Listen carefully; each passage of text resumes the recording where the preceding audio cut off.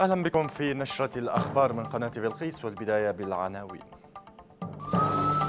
ارتفاع ضحايا التفجيرين الانتحاريين في عدن إلى 41 قتيلا وأكثر من 60 جريحا. استئناف الجلسات العامة في المشاورات. رئيس الحكومة يقول إن الميليشيا لم تقدم التزاما واضحا بالمرجعيات. وزير الثروة السمكية يقول إن سبع سفن إيرانية تتوغل في المياه اليمنية منذ عام.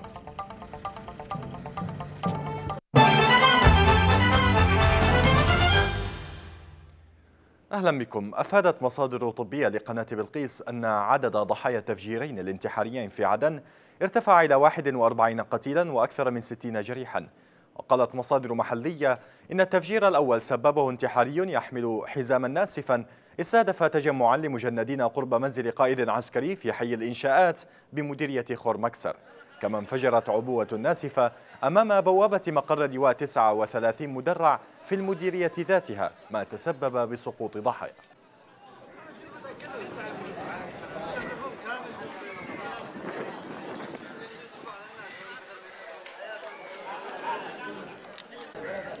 وجه مستشفى الجمهورية في عدن نداء استغاثة للتبرع بالدم وذلك عقب استقباله عشرات الجرحى نتيجة التفجيرين الانتحاريين. قال مدير الطوارئ في المستشفى الدكتور جمال عبد الشكور إن المستشفى استقبل 36 جثة لضحايا التفجيرين ونحو 60 جريحا حالة عدد منهم حرجة. وأوضح المسؤول في المستشفى أن الجرحى أدخلوا غرف العمليات وأن إصابتهم متنوعة.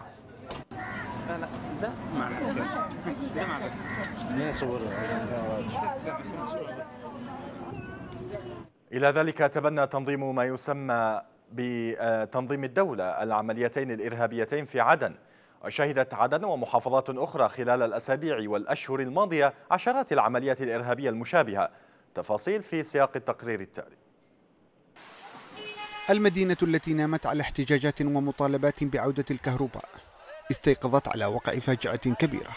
هرع أهالي خور مكسر بعدن صباحا إلى حيث توجد عشرات الجثث لمن وقفوا في طوابير منتظرين الالتحاق بصفوف التجنيد فكان الإرهاب في انتظارهم.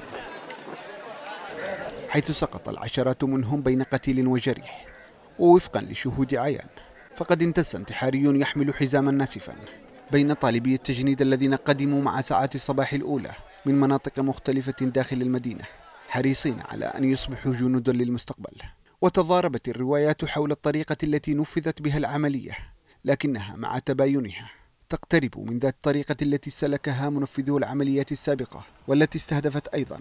طالبي تجنيد في المكلا مؤخرا وقبلهم في عدن. ففي الوقت الذي ما تزال فيه جثث عدد من ضحايا التفجيرات المكلا في ثلاجة المشافي أتت تفجيرات خور مكسر طارحة معها العديد من الأسئلة الكبيرة بحجم المأساة.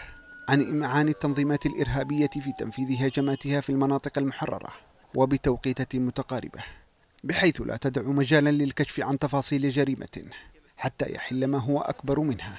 وفي ذلك حسب محللين رغبة جامحة في خلط الأوراق وفي إيصال رسائل محلية ودولية من شأنها هز الثقة بالسلطة الشرعية وبمن يقف في صفها. إلى ذلك أدانت الحيزة على جائزة نوبل للسلام توكل كرمان العمليات الإجرامية الغادرة التي استهدفت مجندين أمام معسكر بدر في عدن وأوقعت عشرات الشهداء والجرحى. وقالت كرمان إن هذه الجرائم الإرهابية تؤكد ما ذهبنا إليه وحذرنا من حصوله من أن المتضررين من التغيير مصممون على إدخال المنطقة في أتون فوضى لكي يتسنى لهم العودة مجددا للسلطة. أضافت كرمان أن الإرهاب الذي ضرب عدن اليوم خلف قدرا كبيرا من الحزن والوجع. لكن هذا لن يجعلنا نعلن الهزيمة أمامه وأمام الذين يراهنون على هزيمتنا وتدمير مستقبلنا.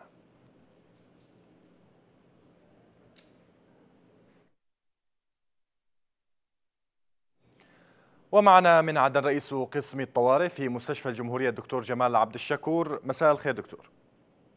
أهلا وسهلا فيكم. مساء النور. أهلا بك دكتور. يعني آه وجهتم نداء استغاثة للتبرع بالدم ذلك عقب الهجوم آه، أو استقبال المستشفى لعشرات الجرحى. ما الوضع في المستشفى الآن؟ أيوة اليوم الصباح آه، يوم الاثنين من 23 مايو استقبل حوادث مستشفى الجمهورية آه، العشرات من الجرحى والشهداء فحصيلة الشهداء مع الساعة الثانية عشر ظهرا وصل إلى 36 شهيد في وقت واحد. أما الجرحى فعددهم حوالي من 56 إلى 60 جريح بين إصابات خطيرة وخفيفة. ومن الجرحى هذا آه، تم إجراء عمليات جراحية كبرى ولا زالت لحد الآن مستشفى الجمهورية تجري عمليات جراحية وهناك ست غرف عمليات جراحية شغالة من الصباح حتى الآن. من آه، بين الجرحى كان طفل لكن الطفل هذا مش من الإصابات كان يعني فرعية من مكان ثاني بس من بينهم كانت امرأة واحدة مرة وأصيبت بعينها. نعم، اذا آه، يعني المصابين ليسوا فقط آه، عسكريين، هناك مدنيون أيضا؟ لا معظمهم عسكريين معانا بس واحدة مدنية معانا. نعم، طيب بالنسبة نعم بالنسبة لإجمالي عدد الإصابات وكذلك للاحتياجات التي يحتاجها المستشفى في هذه الأثناء يعني بسبب عدد الإصابات الكبيرة ما هي أبرز هذه الاحتياجات؟ الاحتياجات كنا نحن بحاجة إلى آه، متبرعين للدم لأنه الدم اللي كان معنا في البنك استنزف لأنه معظم الحالات اللي أجت كانت بحاجة إلى آه، إلى نقل دم لهم لأنه كان معظمهم ينزفوا نزيف شديد جدا نعم أما بالنسبة لإحتياجات المستشفى فمعظم المستلزمات الطبية كانت موجودة ما ما لقينا أي نقص فيها والحمد لله إنه الكادر الطبي والكادر التمريضي كان متواجد الصباح و... وكلهم توجهوا إلى قسم الحوادث والطوارئ لإنقاذ الجرحى. نعم طيب هل حدث لنا دكتور أكثر حول آه، نوعية هذه الإصابات التي استقبلتموها كيف كانت؟ أيوه معظم الإصابات هي كانت في الأطراف يعني تبع حالات العظام ومعظمهم كانت الإصابات في الصدر والبطن. الإصابات اللي كانت في البطن فاحتاجت إلى عمليات جراحية لفتح البطن وإخراج الشظايا منها. نعم. الدكتور جمال عبد الشكور رئيس قسم الطوارئ في مستشفى الجمهورية كنت معنا عبر الهاتف من عدن شكرا جزيلا لك. إلى حضرموت حيث قال قائد المنطقة العسكرية الثاني واللواء فرج البحسني إن أبناء قبائل المحافظة لعبوا دورا بارزا في تحرير مدينة المكلا وبقية مدن الساحل من سيطرة تنظيم القاعدة. أضاف البحسني أن رجال القبائل أغلقوا الطرق والمنافذ أثناء المعركة كما شاركوا في تأمين شوارع المدينة والحفاظ على ممتلكات المؤسسات العامة والخاصة.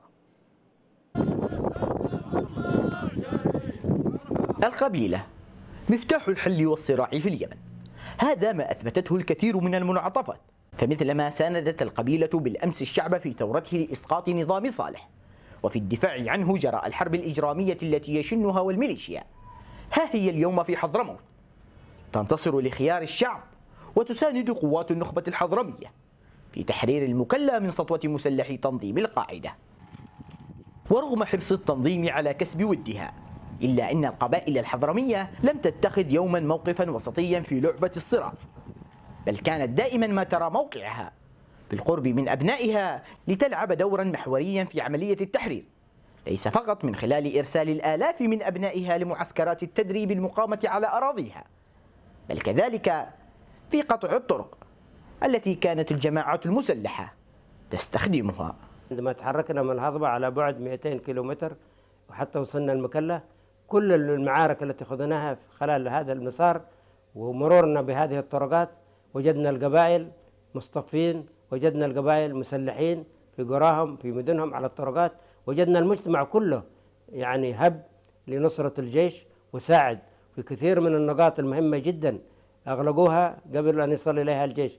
في كثير من المنافذ كان ممكن أن يهرب من تهرب منها العناصر الإرهابية. ولا ينتهي الأمر هنا. فالمئات من رجال القبائل باتوا ينتشرون إلى جانب قوات النخبة في شوارع المكلا ومداخلها الرئيسة لتأمينها داخليا وحماية مقار ومؤسسات الدولة وفرض الأمن والاستقرار. أبناء قبائل حضرموت ساهمنا مع أخواننا النخبة الحضرمية في مساندتهم آه، لحماية جميع المؤسسات العسكرية والحكومية وجميع النقاط الأمنية وحافظنا على الأمن آه، في محافظة حضرموت. وإذا كانت الحكومة الشرعية قد اعترفت بالدور المحوري الذي لعبته القبائل الحضرمية وبدأت في دمج أفرادها في صفوف الجيش الوطني يأمل الكثيرون أن تشمل تلك الخطوة كافة أفراد المقاومة الشعبية الذين أسهموا في عملية التحرير. تثبت قبائل حضرموت أن القيم القبلية الأصيلة تسمو دائما لتكون مساندة ومنتصرة لخيارات أبناء المحافظة. محمد اليزيدي لقناة بلقيس. المكلا سياسيا استنفت اليوم الجلسات العامة في مشاورات الكويت بين وفد الحكومة ووفد ميليشيا الحوثي وحلفائهم. قال المبعوث الأممي في بيان مقتضب إن جلسة مشتركة جمعت الوفدين المشاركين في مشاورات السلام المنعقدة في الكويت. ويأتي انعقاد الجلسات العامة بعد توقف دام لستة أيام باستثناء جلسات منفصلة عقدها المبعوث الأممي مع الوفود المشاركة المشاركة في المشاورات. وفي سياق متصل قال رئيس الحكومة الدكتور أحمد عبيد بن دغر إن الحوثيين وصالح لم يقدموا التزاما واضحا بمرجعيات الحوار الوطني في مشاورات الكويت. أضاف بن دغر في مقابلة خاصة على قناة بلقيس ستبث غدا في الثامنة مساء. إن الحكومة تريد السلام لكن في نهاية المطاف لديها إرادة في دحر الانقلاب. نحن نريد السلام وليست وليست الحرب هدفا ولا ولا رغبة لدينا. نعم. وليس هناك شعب حقيقي آه، يريد أن يعيش في حالة حرب ونزاع مستمرة.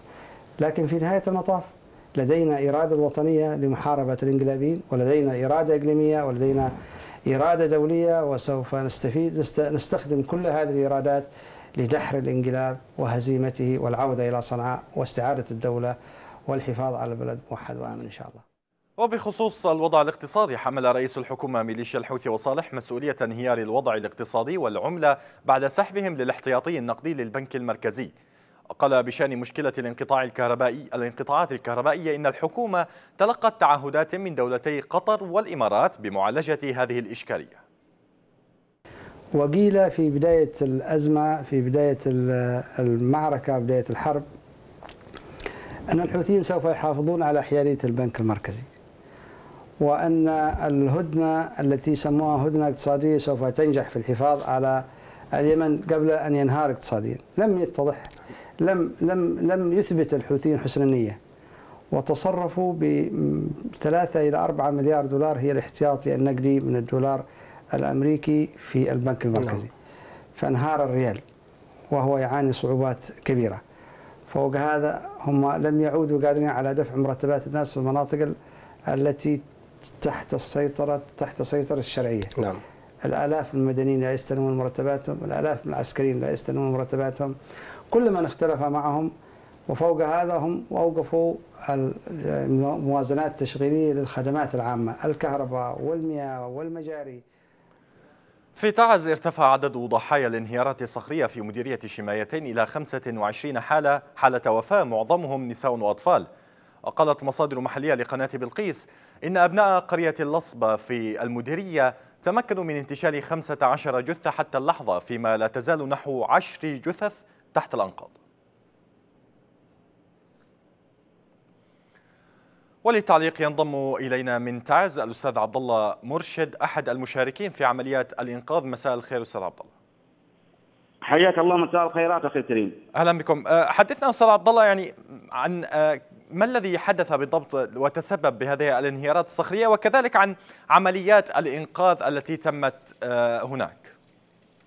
الذي حدث يا أخي الكريم إنه استوت أمطار غزيره يوم أمس العصر يوم أمس 22 5 2016 لأول مرة تستوي أمطار بهذا الشكل يعني بشكل غزير جدا لم لم تستوي مثل هذه الأمطار لا بزمن آبائنا ولا أجدادنا. مما أدت هذه الأمطار إلى نزول آه، يعني في مجاري السيل مياه كثيرة جدا وانهيار صخور كبيرة بشكل كبير جدا على بعض المنازل اللي موجودة آه، في آه، قريبه من الجبال. مما أدى إلى آه، يعني طمس معالم هذه المنطقة بأكملها بمن فيها.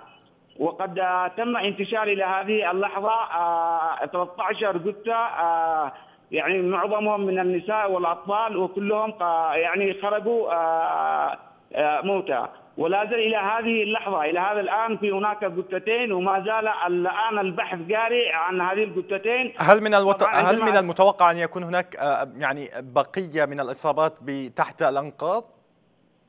لا أتوقع أن يكون هناك يعني احياء تحت الأنقاض لأنه كل الذي خرجت الآن فهم خرجوا آه، موتى إلى هذه اللحظات طيب كيف كانت استجابة السلطات المحلية نحو هذه الحادثة؟ هل هل كان هناك مسؤولون من السلطة المحلية يعني بادروا في عملية الإنقاذ؟ آه، إلى هذه اللحظة طبعا لم يكن هناك المنطقة اللي استوى فيها الكارثة هي منطقة آه، يعني لا, لا يمكن الوصول إليها بسهولة فهي منطقة لا لا لا, لا يمكن الوصول إليها نتيجة لعدم وجود حتى السيارات لا تصل إلى هذه المنطقة نعم. وليس هناك طريق سيارات تصل إلى المنطقة نفسها فهي منطقة نائية ولا يمكن الوصول إليها فكل اللي بادر في الإنقاذ هم من أهالي المناطق المجاورة اللي استجابوا للإنقاذ إلى هذه اللحظات. إذا الأستاذ عبد الله مرشد أحد المشاركين في عمليات الإنقاذ كنت معنا عبر الهاتف من تعز شكرا جزيلا لك. على الصعيد الميداني سقط جرحى من المدنيين جراء القصف العشوائي المتواصل من قبل ميليشيا الحوثي والمخلوع على أحياء وقرى سكنية في تعز.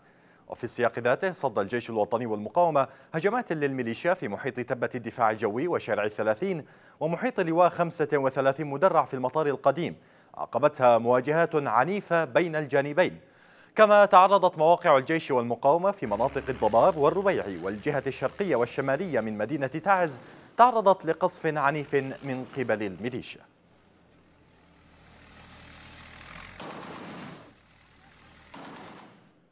إلى ذلك جددت ميليشيا الحوثي والمخلوع قصفها المدفعية العنيفة على مناطق الخبل وقرى في مديرية المضاربة بمحافظة لحج. تفاصيل أوفى في سياق التقرير التالي. عبر طرق متعرجة وخفية ومنذ شهور يواصل هؤلاء الشباب إمداد مقاتلي المقاومة في مديريتي الوازعية والصبيحة بالمياه والوجبات الضرورية قاطعين مئات الأمتار في هذه السهول والأودية. الوازعية ومنطقة المضارب بمديرية الصبيحة ما تزالان تتعرضان للقصف المدفعي اليومي من ميليشيا الحوثي وصالح في الوقت الذي تستمر فيه الاشتباكات في كل من منطقة العقيدة وجبل الصبارة الذي تتمركز فيه الميليشيا. وبين المقاومة والجيش الوطني خصوصا هنا في عقبة المنصورة التي تمثل نقطة فاصلة بين مديرية الوازعية ومديرية المضاربة ويعبر فيها الخط الرئيسي الواصل بين محافظتي لحج وتعز. شكلنا مقاومة قوية. أولا تأمينا للأسر النازحة الذي نزحت من الوازعية إلى مناطق الرويس والألبية وهكرة والخبل.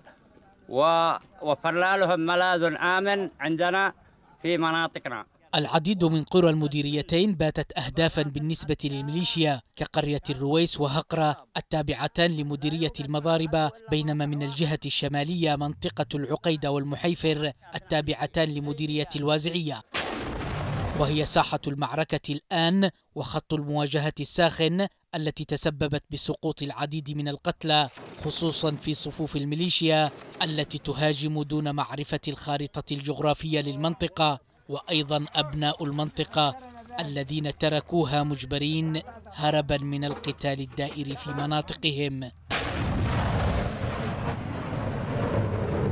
وفي تعز أيضا أقيمت فعالية بمناسبة الذكرى السادسة والعشرين للوحدة اليمنية.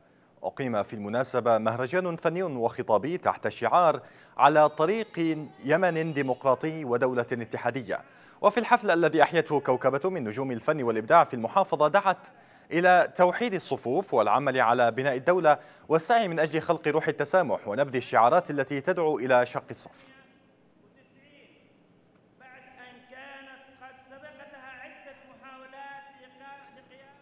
في الضالع شنت الميليشيا قصفا عنيفا على مواقع الجيش والمقاومة وقرى سكنية شمال المحافظة.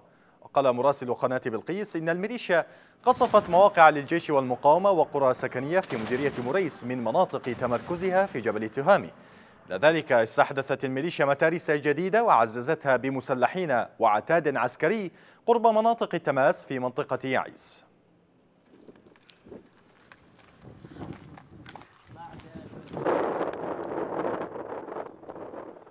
إلى مأرب حيث أصيب ثلاثة جنود من الجيش في قصف شنته ميليشيا الحوثي والمخلوع على مواقع عسكرية في المحافظة. وقالت مصادر محلية إن القصف طال مواقع الجيش بمناطق المججح وهيلان في استمرار لخرق اتفاق وقف إطلاق النار. أضافت المصادر أن الميليشيا استهدفت أيضا بصواريخ الكاتيوشا وقذائف الهاوزر معسكر كوفل ومواقع للجيش خلف جبال التياس والربيع. قال رئيس الحكومة الدكتور أحمد عبيد بن دغر إن اليمن تعيش كارثة إنسانية مروعة جراء قيام الانقلابيين بممارسات وسياسيات وسياسات كارثية. واتهم بن دغر في كلمة له أثناء افتتاح القمة العالمية للعمل الإنساني في إسطنبول اتهم ميليشيا الحوثي والمخلوع بنهب وتدمير مؤسسات الدولة واستنزاف الاحتياطي النقدي الأجنبي وهو ما عرض الاقتصاد الوطني للانهيار. أضاف أن الميليشيا ضيقت الحريات واعتقلت المواطنين وأوقفت الصحف والمطبوعات وأعاقت وصول المساعدات الإنسانية والدولية ونهبتها ما تسبب بكارثة إنسانية.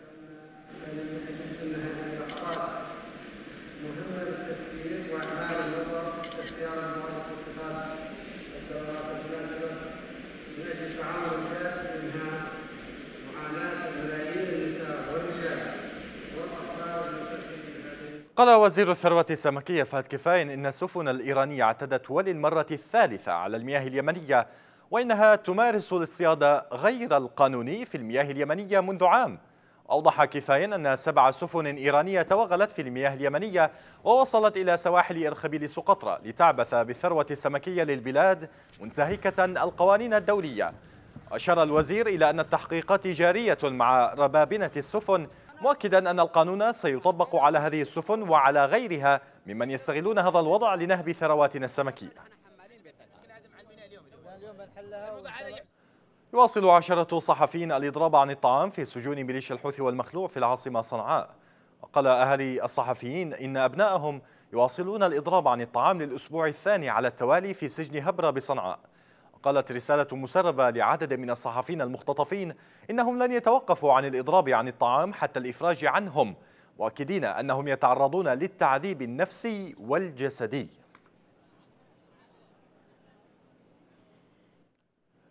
ناشدت إدارة مستشفى الوهط في محافظة لحج الجهات الرسمية والمنظمات الدولية الالتفات إلى المستشفى الذي يعاني من التدهور المستمر ويضاعف غياب الكادر الطبي والمعدات الصحية والأدوية من مشاكل المستشفى بالإضافة إلى انقطاع الكهرباء المتكرر.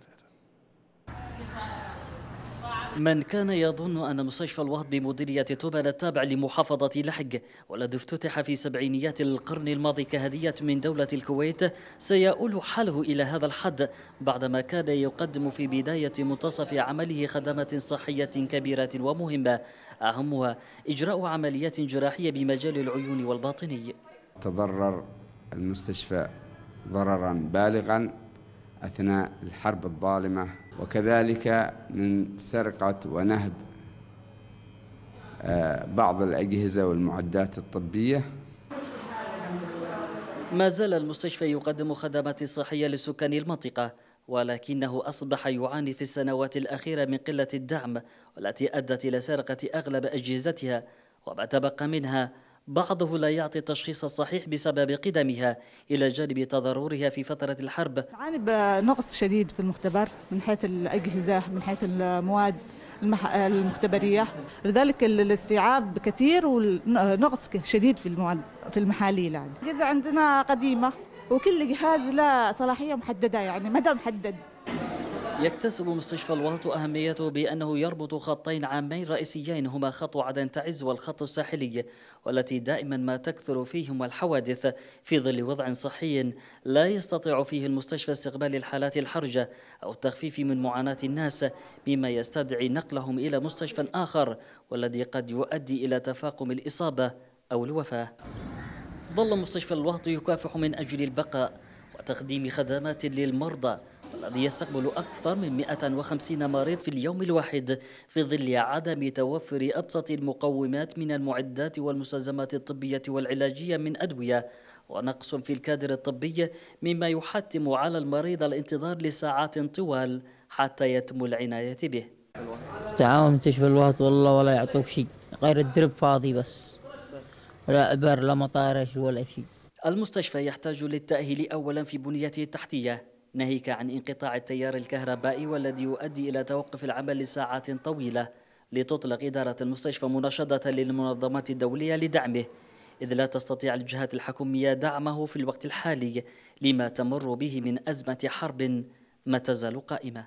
مختار شعتل لقناة بلقيس من مستشفى الوهط التخصصي بمديرية تبان محافظة لحج بهذا وصلنا إلى ختام النشرة وهذا تذكير بأبرز ما جاء فيها. ارتفاع ضحايا التفجيرين الانتحاريين في عدن إلى 41 قتيلا وأكثر من 60 جريحا. استئناف الجلسات العامة في المشاورات ورئيس الحكومة يقول إن الميليشيا لم تقدم التزاما واضحا بالمرجعيات. وزير الثروة السمكية يقول إن سبع سفن إيرانية تتوغل في المياه اليمنية منذ عام. نهاية النشرة قدمناها لكم من قناة بلقيس للمزيد يمكنكم متابعة موقع القناة الإلكتروني كما يمكنكم أيضا التفاعل مع صفحاتنا على مواقع التواصل الاجتماعي. في أمان